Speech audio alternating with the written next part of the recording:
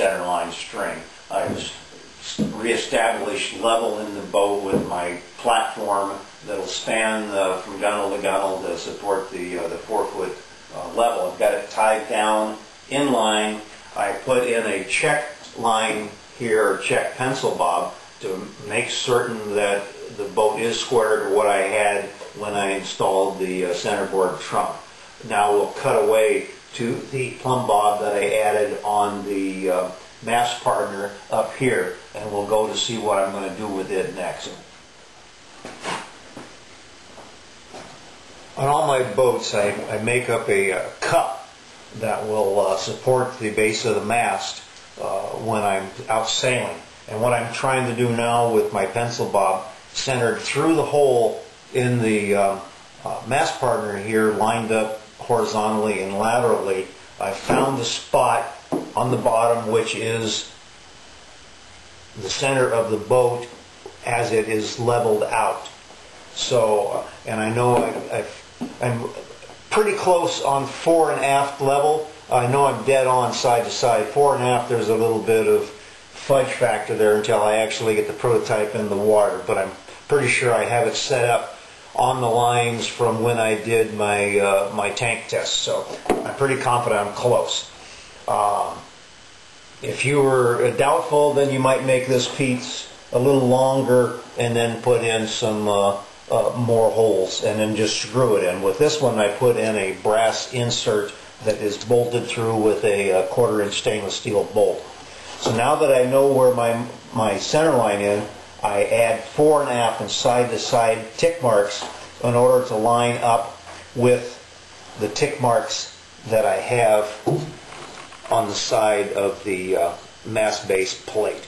Now this I'll just, and I added this to keep the, uh, the tape, to keep the uh, Gel Magic. I haven't decided whether I'm going to use Gel Magic or EZ-Fillet to butter this up and then press it in place. But I have all my lines established and so that's all I'm looking for at the moment. So we'll go ahead. I'm going to do this, the actual buttering up later after I've done some sanding. Okay, I've got a coat of epoxy on the rails now. I usually try to put one coat on and then uh, later on put on a couple uh, coats of uh, varnish. Uh, but I'll wait until after I get the boat painted and I used it a little bit and then either for myself or for resale, then I'll go ahead and varnish the rails. Right now I just wanted to put some epoxy on it just to give it some strength. Uh, one thing I found, I changed my method just a little bit this time. Uh, I only made little tiny amounts of epoxy as I went along. I think it was like half an ounce of part A and a quarter of an ounce of part B. So in one of those little cups, it was just just a fraction. Uh, I find, or I found when I was doing the uh, taping inside, I even cut back on that. That the brush, my toothbrush I was using, and the epoxy in the container, even though it was only like about an ounce and a half, uh, I wasn't getting at it quick enough on some spots, and so it was thickening up on me. And that's one of the things you don't want to do when you're doing the taping or anything fine.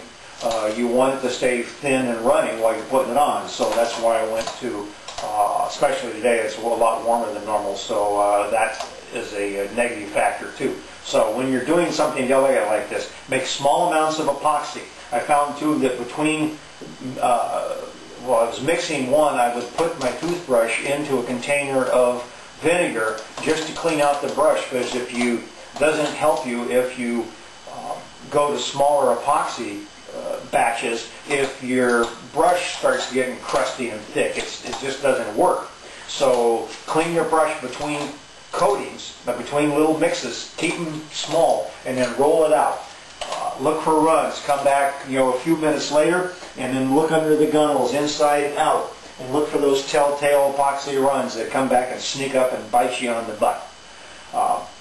Uh, I'm going to reset. I'm going to show you some. Uh, uh, I'm going to redo a video I took earlier on the, taping process, and uh, let me put this away and get cleaned up, and then uh, we'll do that. One of the things I told myself when I did this boat that I would wait and put on the longitudinal tape until after I had done uh, uh, other taping inside. I wanted those to be the last thing so they would cover up some of the mistakes or some of the little ugly spots that may develop in the corners.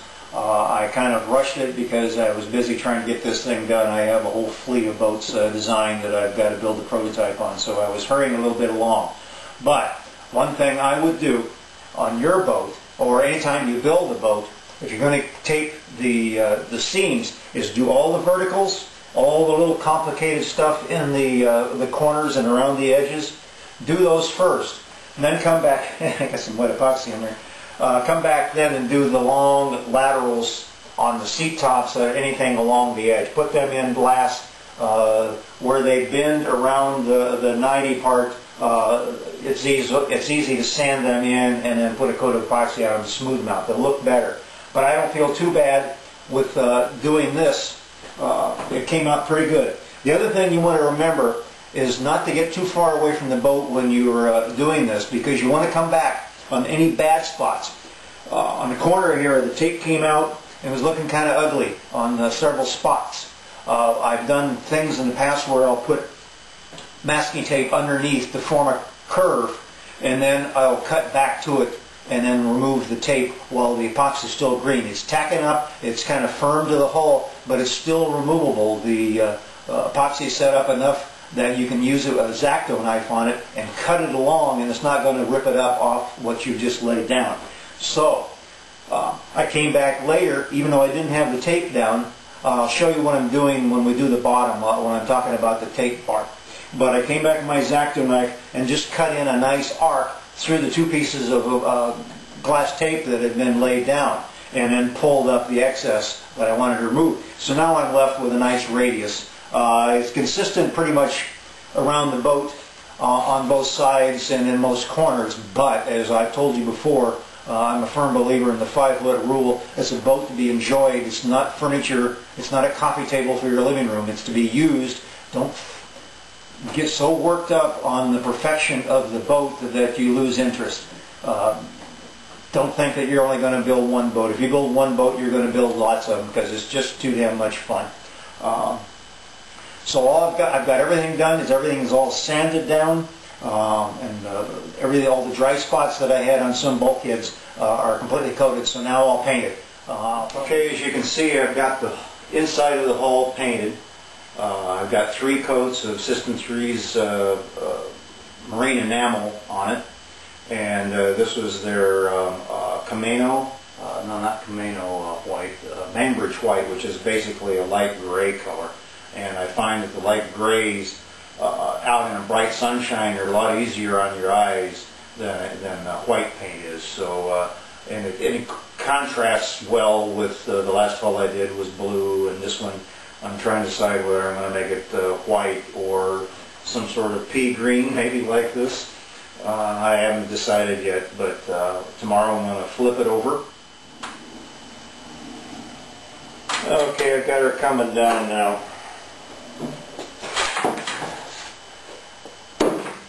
roll. Now I can start working on the bottom.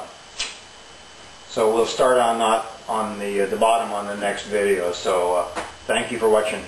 See you next time.